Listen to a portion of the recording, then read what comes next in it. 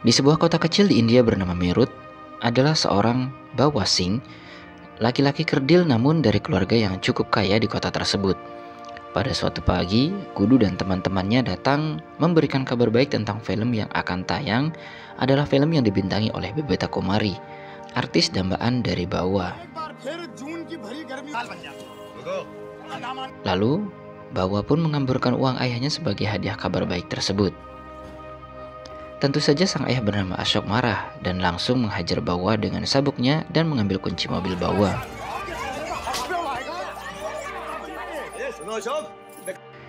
Namun Bawa tidak jerah karena menganggap cacat yang dideritanya adalah karena perbuatan sang ayah.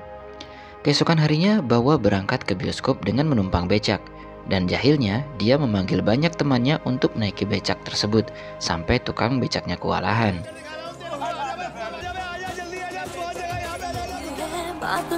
Di saat Bawa dan teman-temannya asik menonton, dia menerima telepon dari biro jodoh yang pernah didatanginya. Dia pun datang bersama Gudu keesokan harinya dan menerima kabar bahwa ada yang match dalam perjodohan dengan Bawa. Dia adalah seorang wanita yang memang tidak sempurna fisiknya bernama Afia dan sedang berada di sebuah sekolah di kota Merut. Bawa pun mendatangi sekolah tersebut dan betapa kagetnya ternyata Afia adalah seorang yang cacat bahkan harus berada di kursi roda. Berniat ingin pergi, malah akhirnya mereka bertemu.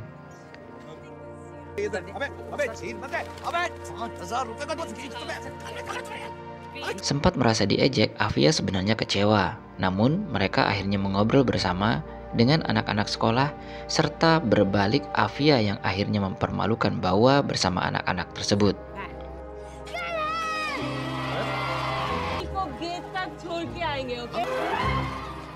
Bawa merasa kesal dan berjanji akan membalas rasa malunya tersebut. Suatu hari, saat jumpa pers, Bawa datang dan ingin mempermalukan Afia. Namun, yang terjadi adalah Bawa malah mendapatkan hujatan karena perbuatannya, karena Afia adalah seorang yang sangat tersohor.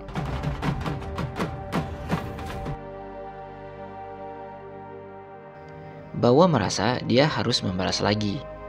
Dia pun datang pada pesta yang dihadiri Afia dengan membawa bunga dan merayu Afia.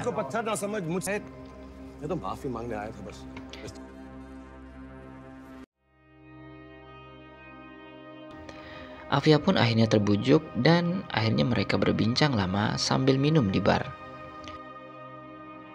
Bawa juga menunjukkan keahliannya dalam menjatuhkan bintang di langit. Dan itu membuat Afia takluk dan takjub. Dalam keadaan setengah sadar akan minuman yang diminum mereka, mereka pun akhirnya tidur bersama. Beberapa minggu kemudian, Bawa dikejutkan oleh hadirnya Afia ke rumahnya. Ayah Bawa sangat marah dan langsung meminta Bawa untuk bertanggung jawab atas perbuatannya sebelumnya dan harus menikahi Afia segera. Meski Bawa tidak setuju dan mengancam, keluarga Bawa tetap menikahkan mereka.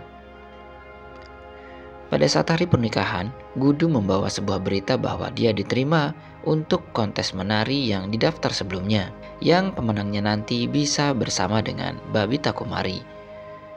Dalam keadaan tersebut, Bawa akhirnya memilih pergi dan pamit ke Avia. Pergi meninggalkan pesta pernikahan tersebut dan sangat membuat Avia kecewa dan marah.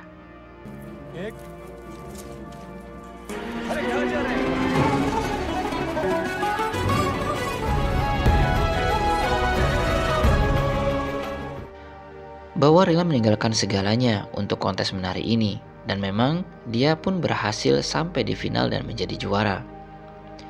Akhirnya kesempatan untuk bertemu Babita Kumari pun terwujud.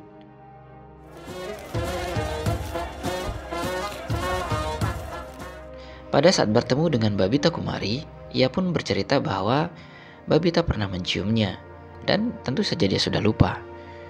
Dalam jamuan itu, Bawa mencoba untuk menunjukkan keahliannya dalam menjatuhkan bintang kepada halayak ramai. Namun sayang, dia tidak bisa melakukannya. Bawa merasa sangat malu dan saat itulah Babita datang dan menghiburnya. Dan berkata, bintang tidak akan mendengarkannya karena ada yang kecewa. Namun demikian, Bawa diundang Babita untuk datang ke tempat syutingnya keesokan harinya. Semenjak saat itu, Bawa menjadi asisten Babita dan diajak ke berbagai acara dan mereka semakin dekat. Namun, Bawa tidak menyadari bahwa dia hanya sebagai yang dimanfaatkan saat Babita sedang sedih karena patah hati kepada kekasihnya.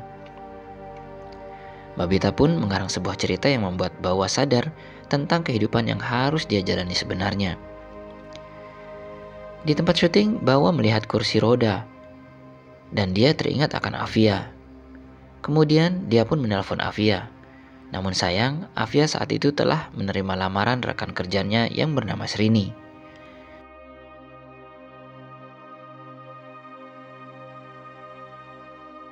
Suatu hari pada hari ulang tahun Babita Kumari, Bawa semakin tak terkendali.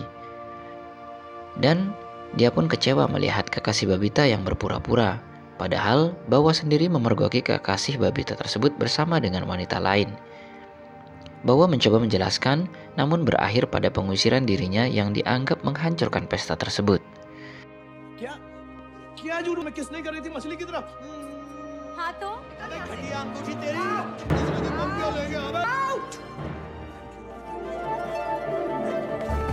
Bawa akhirnya pergi. Sementara Babita Kumari akhirnya bisa melepaskan kekasihnya dikarenakan Bawa yang sudah mensadarkannya. Bawa kemudian menelpon Gudu dan langsung mengajak mencari Avia ke Amerika.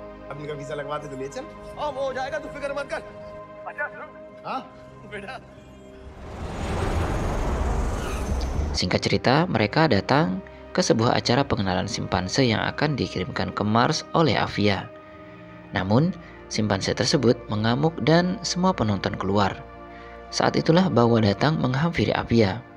Betapa terkejutnya Avia, dengan rasa bencinya Avia pun menembakkan senjata pistolnya ke arah Bawa.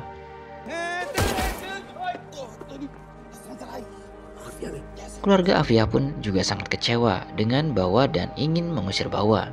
Tanpa pikir panjang, Bawa dengan cepat mengambil seorang bayi yang ada pada gendongan seorang wanita yang bersama dengan Avia dan mengancam akan membawanya pergi.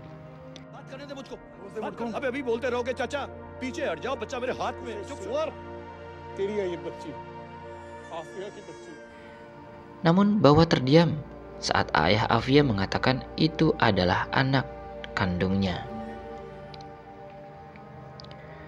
Kemudian Bawa mencari tahu di mana dia bisa menemui Avia kembali dan bertemu dengan tunangan Avia yang memberi alamat tempat kerja Avia. Dan Avia ternyata merupakan seorang ahli penelitian antariksa dan sangat sulit untuk Bawa menemui Avia. Sampai akhirnya Avia menyuruh security membawanya masuk menemuinya. Lalu Avia meluapkan semua sakit hatinya termasuk mengatakan bahwa dia akan menikah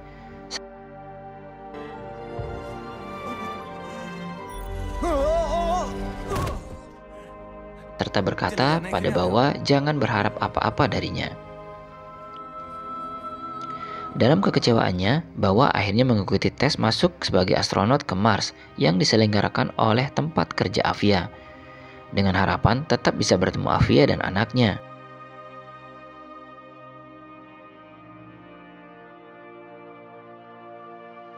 Sementara itu, Avia akhirnya bertunangan dan mempersiapkan pernikahan dengan Srini.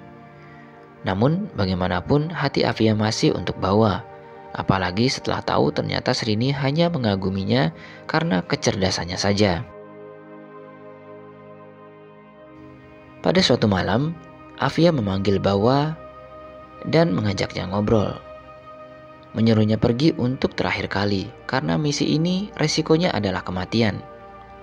Afia terus berkata bahwa pasti akan takut dan berlari setelah roket menghitung mundur. Namun tiba-tiba bintang berjatuhan saat Bawa menghitung mundur sampai dengan nol. Dan itu membuat Bawa sangat senang dan Avia merasa sedih. Sementara itu, Gudu adalah satu-satunya yang bersama Bawa dan diminta persetujuan oleh Avia untuk pengiriman Bawa ke Mars.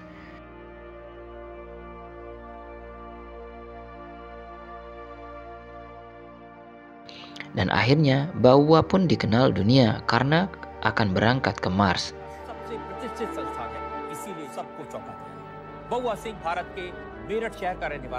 Afia memilih hari pernikahan saat peluncuran roket yang membawa Bawa ke Mars. Karena Afia tidak ingin melihat Bawa saat lepas landas. Namun akhirnya Afia meninggalkan pernikahannya untuk mengucapkan selamat tinggal kepada Bawa.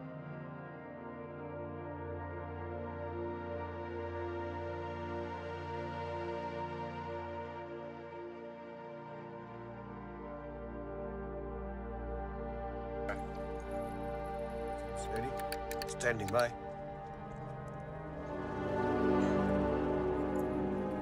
नहीं हुए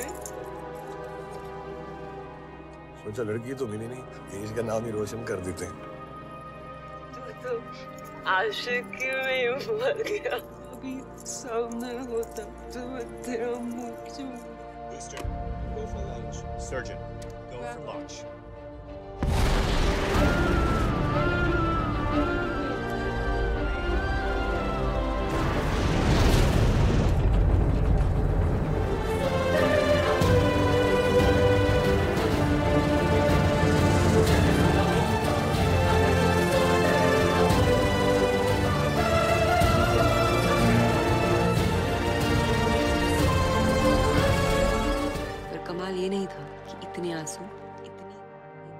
Misi ke Mars tersebut memakan waktu selama 15 tahun dan akhirnya Bawa pun bisa kembali ke bumi lagi.